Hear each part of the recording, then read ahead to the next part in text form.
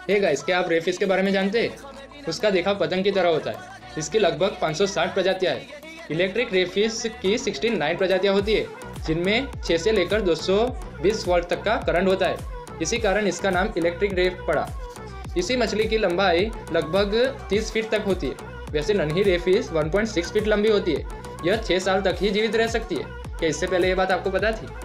नहीं पता थी? तो अभी के अभी सब्सक्राइब कर लीजिए। क्योंकि सब्सक्राइब का बटन रे फेस की तरह करंट नहीं मार रहा। तो सब्सक्राइब हो जाना चाहिए। मैं व्यक्ति यूट्यूबर मिलते हैं अगले वीडियो में। तब तक के लिए गुड बाय